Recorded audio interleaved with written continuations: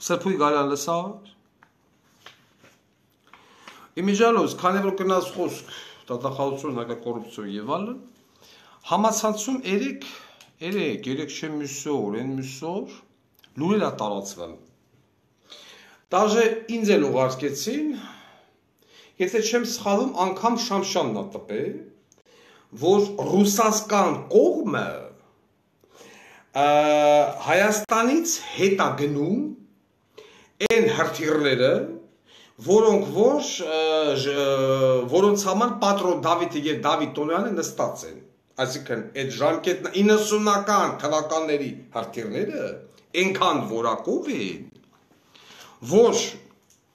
Ռուսաստանը պատրաստ է Հայաստանից հետ գնել եւ այդ նորությունը սենց ցրծփելով սա ոչ իմ կայքերը տպին Լավ, ես ուզում եմ հասկանալ մի հատ բան։ Այդ կայքի տպողները չեն հասկանում յուրաքանչյուր ապրանք ապրանք ունի ժամկետ։ Յուրաքանչյուր։ Այդ նույն հրթիռը ունի ժամկետ։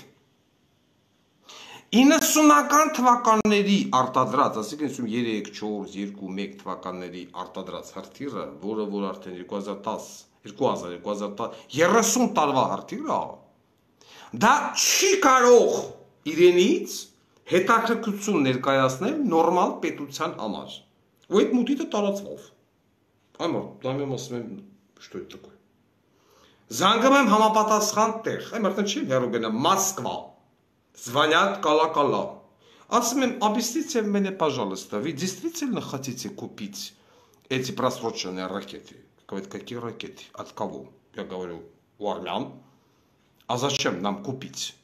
эти ракеты? Мы же их производим. Совершенно новые ракеты. Ուրեմն էլ բան չկթան Դավիթ Տոնոյանի նման ու պատրոն Դավիթի նման լրատվամիջոցներ կոչվածներով մուտիտ են գցում են միամիտ շամշանն էլ տպմալ որ գիտեք ինչ, Ռուսաստանը պատրաստ է Հայաստանից հետ գնել այն հրթիռները ժամկետ նոնց, այնքան լավն են, մի հատ միջկային զենք, որի համար պատրոն Դավիթին ուզում են տատել։ Ջոսներ։ Մի բան տպելուց առաջ դուք ոռով եք մտածան։